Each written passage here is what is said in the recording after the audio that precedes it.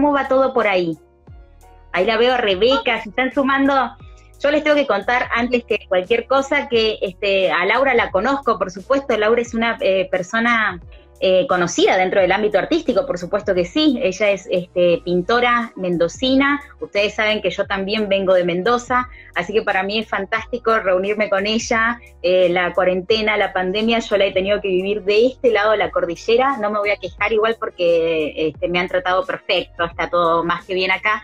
Pero eh, nada, es, especial de alguna manera poder charlar con Lau que la conozco, que la entrevisté en su casa hace ya un tiempito, eh, que conozco también a su familia, eh, su pareja Leandro Pintos también es un excelente dibujante y escultor, tienen una casa hermosa en una zona muy linda, alejada de la ciudad, eso ya me lo vas a explicar vos. Eh, ahí este, tienen una casa estudio, una casa taller, así que bueno, nada, para mí hermoso, Lau, que te hayas sumado y también un placer, por supuesto, que a través de tu propuesta, de tu, propuesta pictórica, que, que, siempre me pareció súper interesante, pueda ser parte de un ejemplar de lujo de revista Ofelia. Nosotras habíamos hecho en principio la entrevista para la página web hace ya un tiempo atrás, te había visitado en tu casa justamente para hacer esa nota, eh, pero ahora este, pudimos editar y actualizar esa entrevista para que integre la este, colección de, entrevistas este, que, pudimos presentar hace ya un poquito más de 10 días, revista Ofelia número 5, que por motivo de la pandemia y de la cuarentena tenemos liberados los contenidos. Eh, querida Lau, ¿cómo estás entonces? Te decía que es un placer, un honor compartir la revista, la publicación. Antes, primero, eh, los contenidos de la web. Eh, la verdad que es muy, muy interesante, este, muy dignificante tu trabajo para los artistas, fusión del arte. Gracias, Lau, muchísimas gracias. Contame entonces y contanos a, los, que, a los que estamos escuchándote y, viéndote, por supuesto, cómo estás atravesando la cuarentena en este, en este momento. Contanos dónde estás ahora, estás en tu casa, que también es tu taller. Eh, eh, ¿cómo, es el, lugar donde estás pasando estos días? Bueno, este, como han dicho la mayoría de los artistas que has entrevistado, eh, los artistas tenemos como ese privilegio de poder trabajar, poder crear aún en estas condiciones de encierro relativo, ¿no? Entonces, claro, atravesados por la circunstancia, las cuestiones creativas este, tienen sus vaivenes, pero sí tenemos las herramientas y la posibilidad de trabajar en nuestro taller, de de acercarnos a nuestro material y bueno, eso nos pone en una situación de privilegio de algún modo. Mm, sí, sí, me imagino. Eh, entiendo que en realidad estás refiriendo a, que es un privilegio, digamos, poder crear en situaciones que en definitiva son trágicas, ¿no? El mundo está siendo en este momento sacudido por una pandemia que genera un efecto este, de, shock, ¿no? Así como las guerras, las, plagas y las epidemias también han generado cambios súper relevantes y estamos en una situación de absoluta incertidumbre. Vos, más allá de todo lo que planteaste en la entrevista acerca de tu trabajo como, como pintora, que lo podemos hablar eh, un poquito más adelante, también hiciste hincapié de una manera bastante punzante eh, en, la, en, la, situación crítica este, y súper delicada que están viviendo no solamente los artistas puntualmente, sino todas aquellas personas que de alguna forma formamos parte del circuito del arte y ahí este, estamos quienes trabajamos desde el periodismo cultural, gestores culturales, productores, todas personas independientes que en situaciones como estas tenemos, que doble, eh, tenemos que duplicar en realidad los esfuerzos para que las cosas puedan salir. Es evidentemente, más allá de lo, de lo inspiracional que pueda ser esto de tener tiempo para estar en la casa y pintar más o leer más o escuchar más música, eh, es importante también pensar que necesitamos ahora más que nunca de políticas de contención y de reconocimiento, ¿no? O sea, necesitamos que reconozcan el trabajo que se está haciendo en este momento. Bueno, lo que pasa es que además esto desnuda, como en otros ámbitos laborales, la precariedad laboral de los artistas en general y de la gente vinculada a las artes, a la producción artística.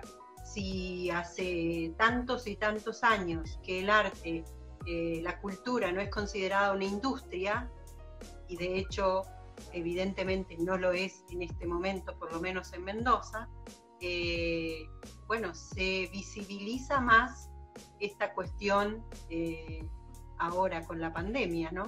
Es decir, eh, se sabe o es Vox Populi o nos hemos enterado que todos los recursos que incluso ya estaban destinados a ser ejecutados en festivales que se hacía, por ejemplo, que se hacen año a año acá, como el de música clásica por los caminos del vino, y todas esas imputaciones, o como se llame la instancia administrativa, todo ese dinero fue destinado a la pandemia, como si eh, los trabajadores de la cultura no necesitasen este, atravesar la pandemia, como si el único recurso necesario para la pandemia fueran los barbijos, por ejemplo, ¿no? Exacto. Eh, Vos decís en la entrevista algo que es fundamental. Eh, eh, hay una romantización súper absurda e ingenua que a veces genera un, poco de bronca, ¿no? Pensar que el artista o quienes trabajamos con artistas, que en definitiva tenemos una vida también muy parecida a la de los artistas, este, como si el artista viviera de, de las musas, ¿no? De la inspiración. Bueno, está, la primera este, aparición del Ministerio de Turismo y Cultura de Mendoza, pasados ya los treinta y pico de días de la cuarentena, fue ofrecer una plataforma eh, virtual en la que los artistas subieran de manera gratuita y colgaran su trabajo para ser visibilizados.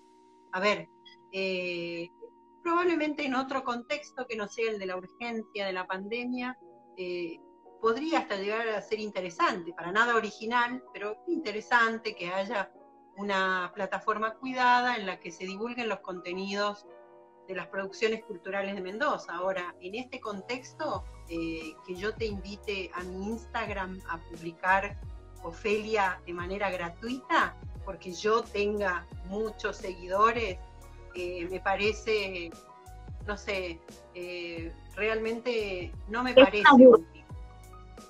es, es una burla. yo de contenido lo que Cultura no ha hecho. A ver, ¿por qué Cultura no sale a hacer un... realmente, Cultura sabe quiénes somos los artistas, quiénes son los pibes que recién se recibieron y no laburan. Eh, ¿Tiene idea de qué impacto concreto ha tenido en el tallerista no poder dar clase, no tienen ninguna, eh, no tienen ningún dato porque no han salido a pedir los datos todavía, ¿no? Entonces, cuando tengan dinero, cuando puedan disponer de ese dinero que, que fue destinado a la pandemia, ¿en qué lo van a gastar? Le van a dar un contrato a los conocidos. ¿Qué va a pasar con el que trabaja en la industria de la cultura? El, el que trabaja de abajo, ¿no? Sí, es evidente que la situación que está pasando Mendoza, puntualmente, nuestra ciudad, eh, es también un poco lo que se está viviendo acá y lo que los artistas, este, muchos productores y gestores se han estado este, compartiendo con, eh, han estado dialogando con este, altos grados de preocupación acerca de cómo se va a construir un plan y no es que nosotros tengamos que ofrecer respuestas, ¿eh? porque aparte de todo se nos exige que nosotros eh, tengamos las herramientas para decirles puntualmente de qué manera salimos de esta, de esta contingencia y de este momento de emergencia. Nosotros hacemos solamente nuestro trabajo. El artista tiene que dedicarse a estar en su taller este, pintando, los periodistas tenemos que encargarnos de entrevistar para difundir y promocionar, no podemos dar recetas, ni sabemos realmente este, de qué manera se sale de esto, porque aparte no estamos especializados en eso. Lo que sí nos corresponde es manifestar de alguna manera que eh, eh, acá se está poniendo en evidencia una contradicción gigante, que justamente las instituciones públicas de cultura parecen desconocer este, lo que está pasando en el ámbito de la cultura, ¿no? Hay como una, hay una disociación entre, entre, entre lo que los, representantes o los funcionarios y básicamente a los que nos toca todos los días ver de qué manera hacemos para seguir trabajando, que básicamente es eso lo que se exige, ¿no? O sea, de qué manera podemos este, eh, eh, eh, de, qué manera nos pueden brindar herramientas que nos garanticen seguir trabajando. básicamente es eso, pero yo no he visto hasta el momento la construcción de, un plan con diversas miradas, este, donde se compartan experiencias, donde se pueda hablar de diferentes problemas y que reúna eh, no solamente a los que están ahí, ¿no? Que nos reúna a todos, a todos los profesionales que estamos de alguna manera este, remando para que esto eh, avance. Eh, no, no, no sé si ocurrió, pero pareciera de que estamos lejos, digamos, de un, de un plan concreto que, que pueda brindar algún tipo de alternativa. Bueno, concretamente en Mendoza hay propuestas, hay gente que está proponiendo permanentemente. Mendoza no es la única provincia argentina sumida en esta cuarentena. Es decir, hay un montón de provincias y muchas con propuestas y actividades concretas muy interesantes, muy interesantes, que no solo, eh, eh, que no solo promueven el trabajo artístico, como sería una plataforma, sino que además concretamente lo financian, que es lo que estamos necesitando, la financiación de nuestro trabajo hoy en la pandemia, ¿no? Y, pareciera que descansan en, todas las acciones de cultura o las acciones del Ministerio de Desarrollo Social de la Nación. Es decir, se quedan tranquilos porque muchos de los artistas pudieron gestionar eh, el salario familiar este de emergencia. El IFE. claro, pero en realidad como te digo, como no tienen ningún relevamiento, no saben quiénes, cómo, ni cuántos han podido acceder a eso, ¿no? En qué situación estaban, como, digamos, falta la pata fundamental, que uno le exige ahora, pero a ver, eh, esto debió existir antes, tener esa herramienta desde antes para poder gestionar no en una pandemia, para poder gestionar un ministerio, un ministerio que no sea ¿no? Este, una seguidilla de festival. Exacto, sí, sí, sí. Eh, le comentamos entonces a la gente que se va sumando a poquito que estamos en conversación con la pintora argentina Laura Rudman, que vive y trabaja desde la ciudad de Mendoza y que forma parte de Revista Ofelia número 5, nuestro último ejemplar que lo pueden descargar de forma libre y gratuita, eh, porque pensamos que eh, este también es un momento para estimular la, la, la lectura, ¿sí? Entonces, Nuestros contenidos ahora están liberados y a través de www.revistaofelia.com barra descargas van a poder acceder al material en el que hemos estado trabajando en este momento de contingencia, de pandemia, de mucha incertidumbre. Repasábamos con Laura este, cosas que afectan profundamente el trabajo no solamente de los artistas, sino también de los periodistas, de los gestores y productores que estamos dentro de la esfera del arte y de la cultura, lo difícil que se hace trabajar este, cuando mm, en un campo de, grandes desigualdades, de escasa regulación, eh, donde trabajamos y afrontamos condiciones de muchísima informalidad y por sobre todo de, precarización laboral. Eh, saliendo así un poco, así como el tema súper espinoso en el que nos metimos así de lleno a la pileta, que me encanta, eh, me gustaría saber, más allá de todas estas vicisitudes, cómo te ha encontrado a vos en lo personal este momento de pandemia y de, y de, y de cuarentena. Eh, has, podido trabajar más, mejor? ¿Estás inspirada? Eh, ¿Hay nuevos temas? Bueno, en realidad eh, la inspiración es tan fluctuante como siempre, eh, pero sí me pasó algo, que es que yo venía trabajando con una serie eh, que se llama Geometrías Humanas, una serie en la que patios y ciudades se ven muy desde arriba, ¿no? La mirada del dron, este, esta cosa, yo juego con la idea de la mirada del barrilete, ¿no? Que me suena más parecida a las cosas que me gustan a mí. Bien, Pero... vista de pájaro, es, la, es el plano cenital desde arriba plano que cenital. estado presente en tu trabajo. Y a, eh, ver, eh, esto, esta serie vengo trabajándola desde el principios del año pasado. Eh, yo voy como abriendo mi obra en series y bueno, por eso trabajo también con varias series a la vez. Voy dejando que, que naturalmente se ramifiquen, ¿no? Entonces, estas imágenes, estas imágenes captadas por el dron barrilete, tenían una carga emotiva que no tienen ahora, porque en ese momento eh, me, remetí, me remitían a esta, este modo de interrelacionarnos eh, que se ve desde arriba, esta construcción tejida de las ciudades, de los pisos, eh, y entonces tenía otra poética.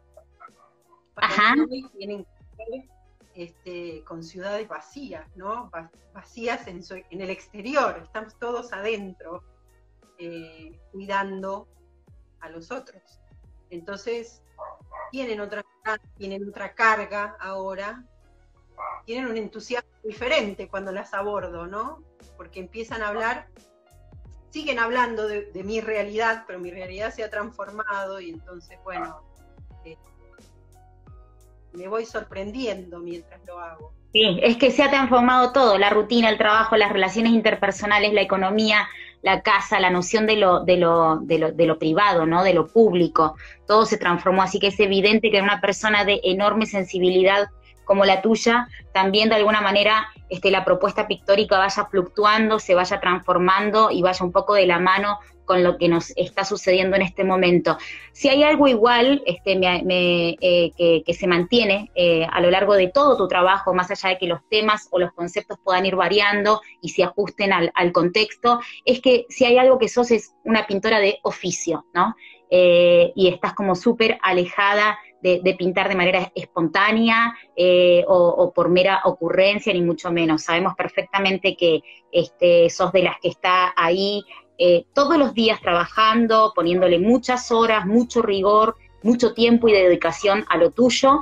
Y en la entrevista decís algo que me gusta mucho y que me gustaría que me expliques de qué se trata. Cuando decís de que sos una pintora de la vieja escuela. Bueno, a, mí me gustaría aclarar algo, es decir, em, hay libertad improvisación en mi trabajo en el momento de la creación. Eh, trato de no valer mucho de los bocetos y de, los bocetos gráficos, me refiero de dibujar para pasar después a la tela.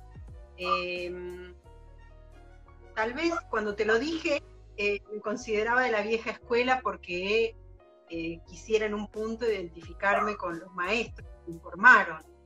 Sí, con una pintura de corte tradicional. Claro, esta idea de que sí hay que trabajar todos los días y, llegar a lo que uno quiere en la imagen, mm. no conformarse con lo que aparece. En ese sentido, este, que no es espontánea mi obra, pero sí en el momento concreto de, la cuestión y de la búsqueda de, esa pequeña historia que me interesa contar. Vos sabés que a mí lo que me interesa eh, de mi obra es la posibilidad que tenga de, narrativa. Eh, sí. Mi obra yo a la palabra.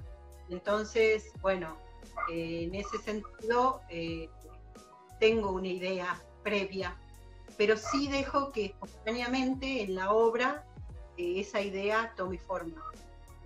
Igual es, fundamental entender de que tampoco queremos ser unos puristas del realismo o del arte figurativo, ¿sí? Yo también cada vez que estoy destacando o queriendo reivindicar, difundir y promocionar a los artistas este, que en su mayoría hasta ahora han sido figurativos, eh, pongo en valor esto de la vieja escuela en estos mismos términos, lo que implica hacer o crear este, eh, sin negar de pronto el legado de los grandes maestros, de las tradiciones, etcétera. esto no deja de lado de que por supuesto haya lugar para cierta improvisación, este, para la parte lúdica, imaginativa, incluso para el error, que a veces el error este, puede ser, este, o la sorpresa, ¿no? Ese, ese factor sorpresa puede ser determinante para que la obra se resuelva este, y, se generen resultados que de otra manera no nos hubiésemos imaginado. Así es, así funciona la creación, es decir, no es una cuestión matemática, ¿no? Este, pero sí entiendo que esto de la vieja escuela es la pasión por el oficio, por porque la mano haga lo que la cabeza y el corazón este, mandan.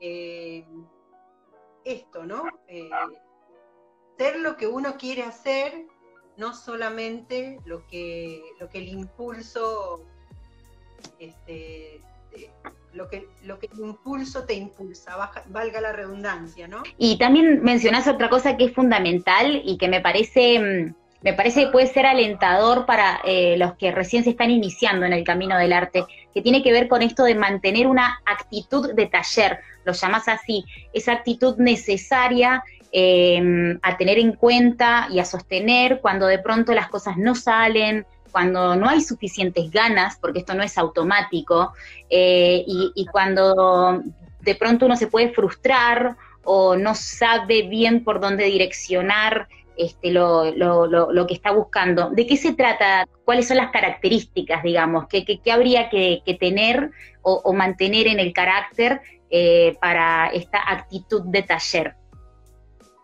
Bueno, yo creo que esto está, esta pregunta que vos me haces es muy interesante, porque está vinculada también a lo primero que hablábamos en la charla, lo de las políticas culturales.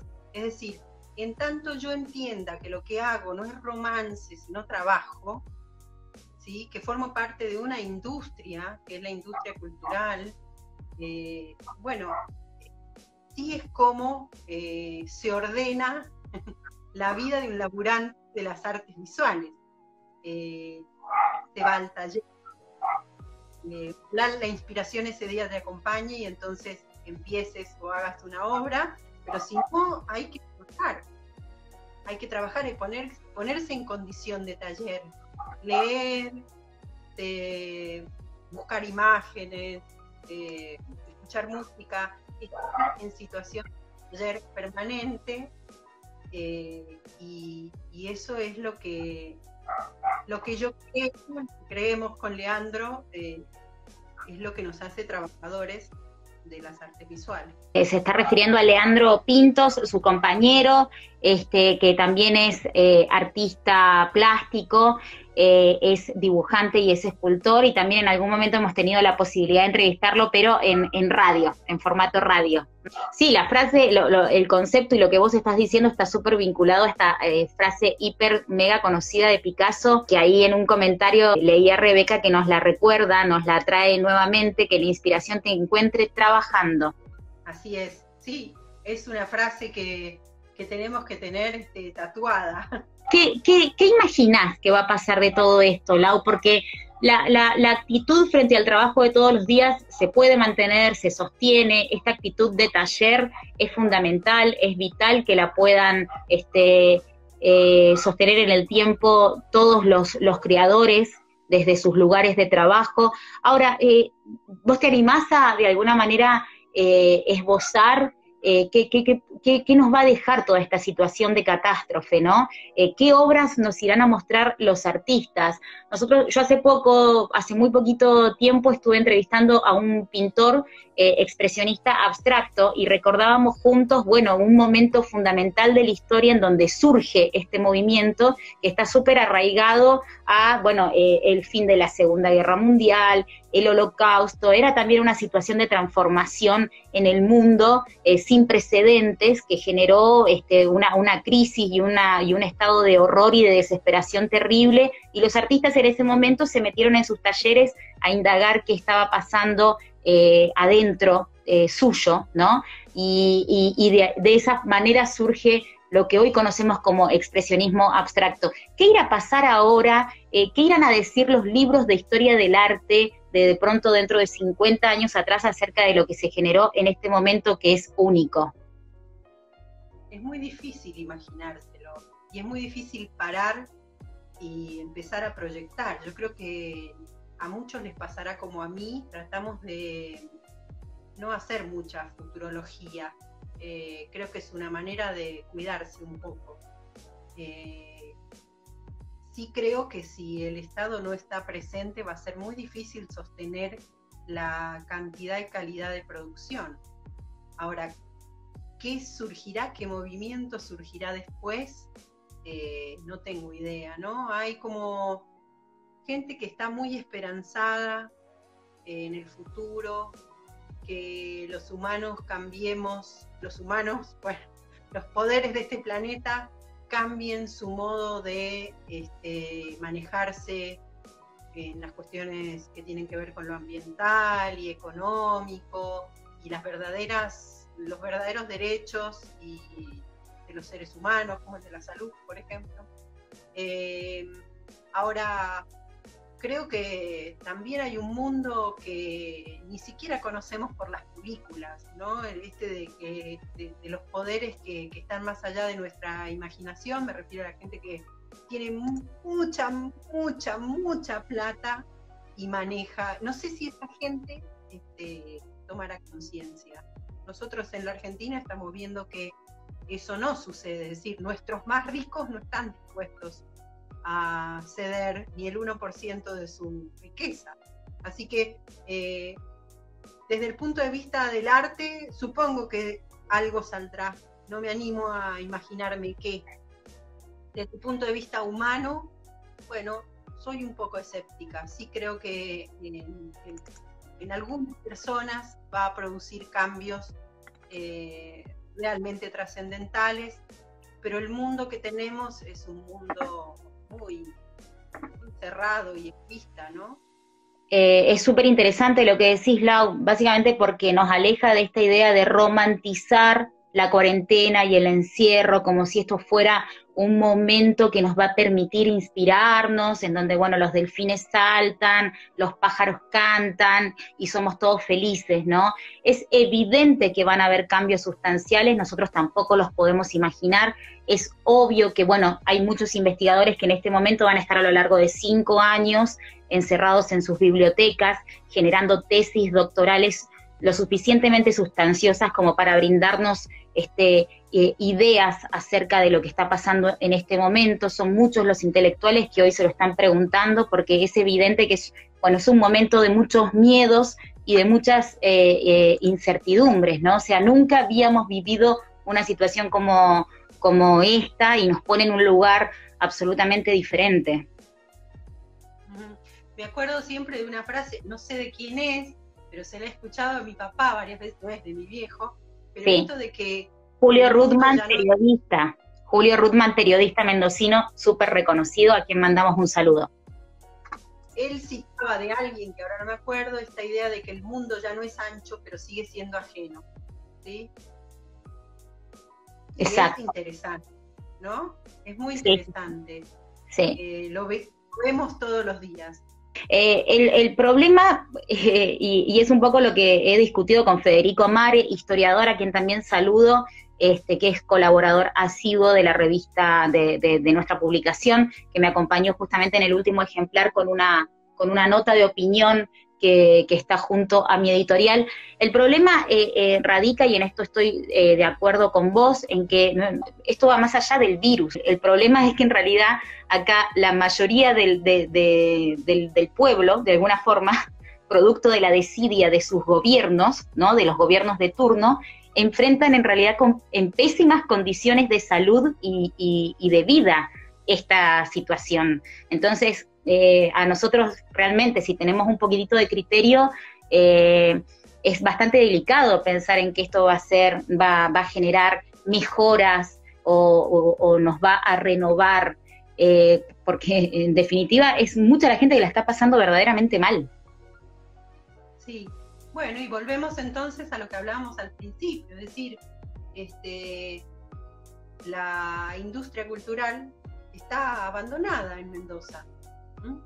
Entonces, bueno, es difícil pensar en, qué respuesta creativa surgirá de esta pandemia cuando este, eh, se reparten bolsones de alimentos para los artistas. Exacto, que, que también está pasando acá en Santiago y, que genera muchos signos de pregunta, ¿no? Enormes, digo, o sea, de, de, de, qué, de qué manera se puede paliar este desastre a través de un, de un bolsón de comida, o sea, es, es realmente...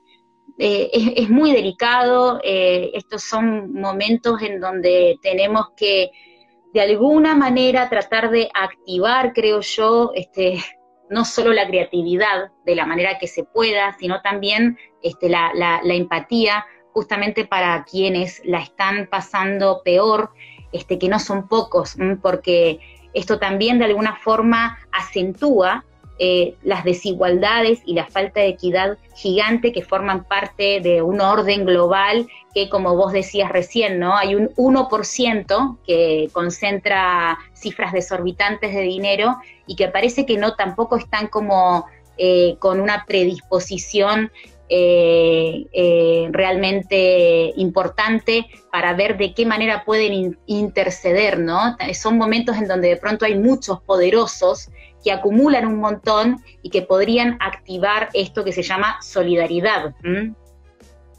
Exactamente, sí, y a un punto en el que la solidaridad es una responsabilidad, ya no es una elección.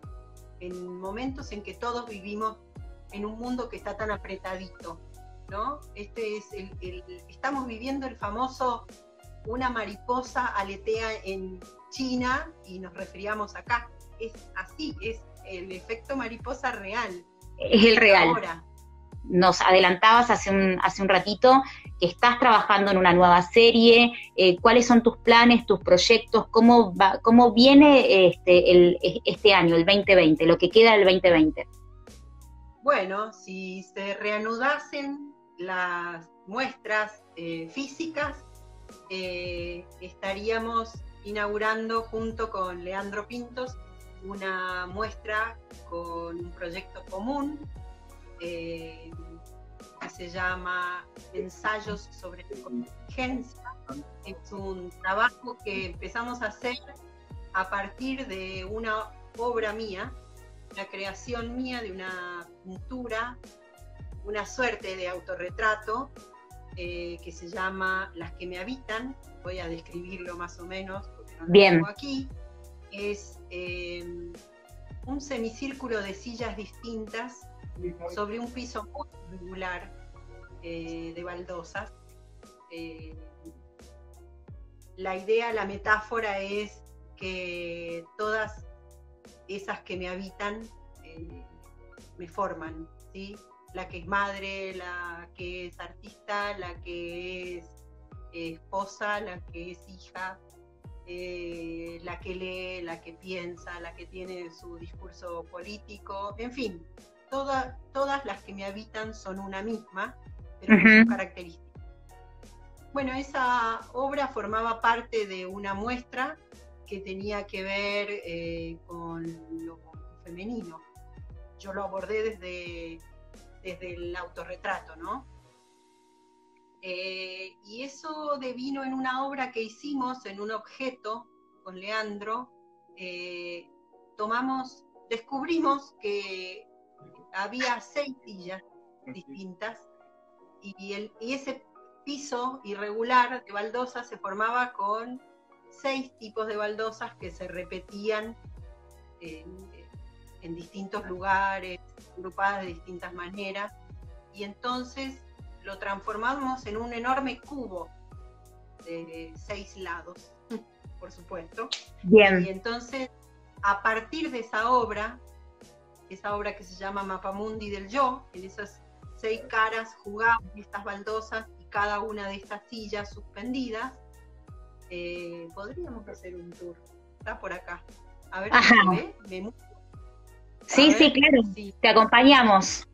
Vamos a conocer de tipo un rincón de la, de la casa taller de Laura Rudman que vive y trabaja desde un, lugar que es muy lindo, está, está alejado de la ciudad, del centro de Mendoza, y está más eh, para el lado de, la cordillera, ¿no? Se llama Maipú. En Maipú, en Russell vivo. En Russell, exactamente.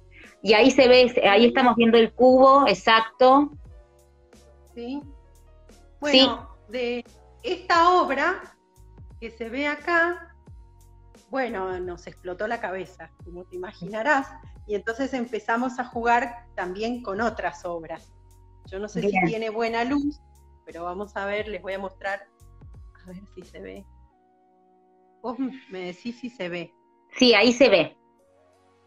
Exacto, bien. Eso, por supuesto, claro, está pintado. Es muy característico del trabajo de Laura Rudman, los patios, las baldosas. A ver si se ve, si se alcanza a ver este enorme. sí, este, ahí estamos viendo también parte del trabajo escultórico de Leandro Pintos, que es su compañero, con quien también están encarando juntos este proyecto colectivo, ¿sí? Bueno, entonces la idea era empezar a jugar casi filosófica y artísticamente con este cubo eh, y estas sillas que simbolizan eh, lo humano. Lo humano, exactamente. Sí, sí. y siempre prescindiendo de la figura humana, Sí, este, yo te contaba aquella vez en esa entrevista que me parecía que al no haber figura humana, el espectador se apropiaba de, esos espacios. Eh, que en todo caso había una obsesión mía por transferirle a los objetos ciertos rasgos de personalidad. Eh, en estas obras, que ojalá se vean pronto, que estamos trabajando con Leandro, eso queda muy explícito, ¿no?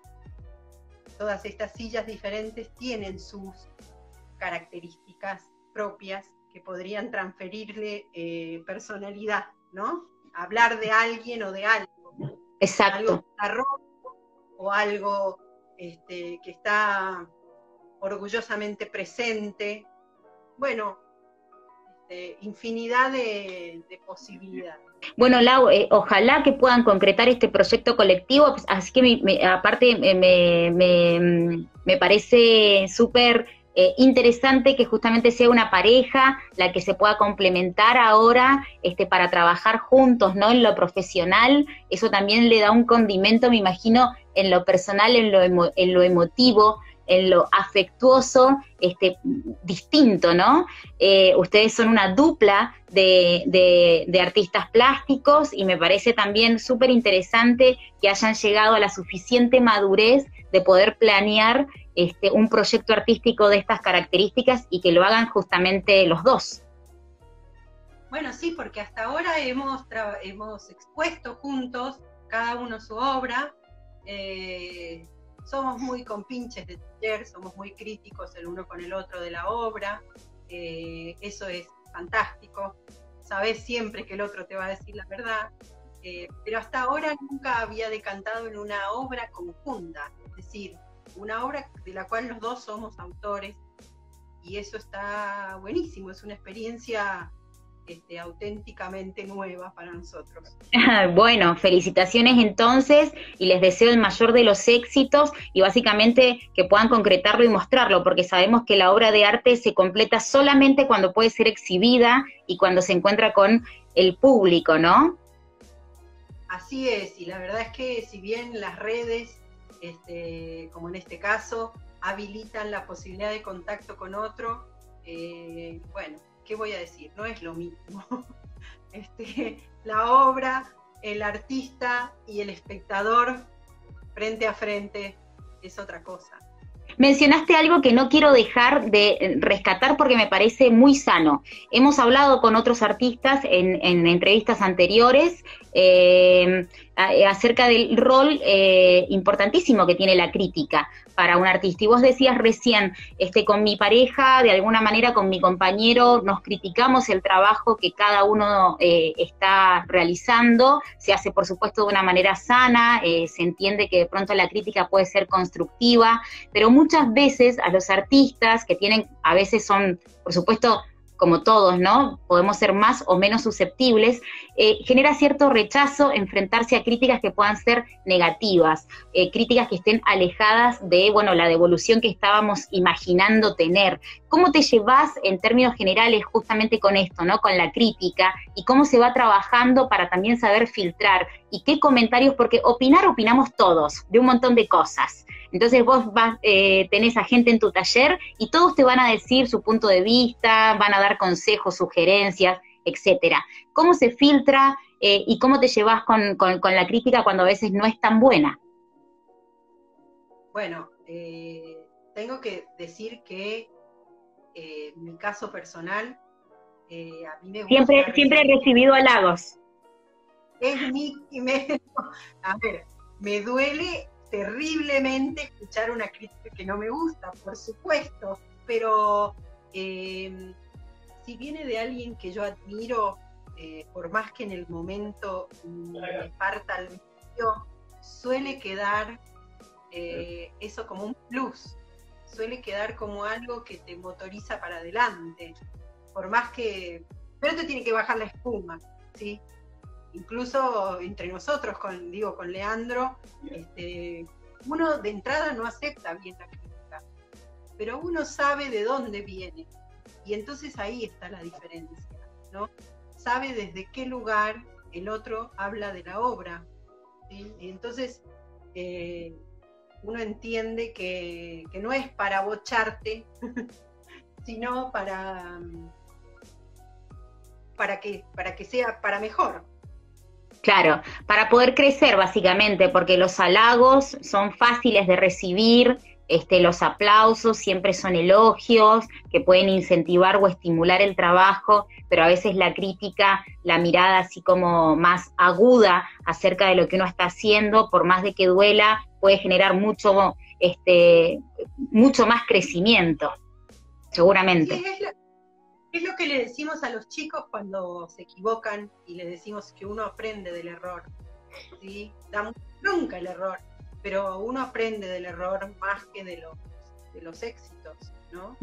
Entonces, eh, está bueno eh, recibir más críticas que palmadas en el hombro. Nos faltan solamente escasos minutos para poder terminar con esta transmisión en vivo. Instagram nos permite solamente una horita de charla. Me parece que ha sido súper rica esta conversación donde no solamente pudimos hablar de lo que implica pintar, este, de, lo que, de lo que significa crear en una situación de pandemia, sino que también pudimos este, verter algunos puntos de vista acerca de las deficiencias y de todas las contradicciones que nuestras instituciones públicas eh, no están haciendo como esperamos, como necesitamos que hagan este, para poder enfrentar esta situación de emergencia y de incertidumbre que afecta a todos, pero también afecta de una manera especial al ámbito de la cultura y al ámbito de las artes.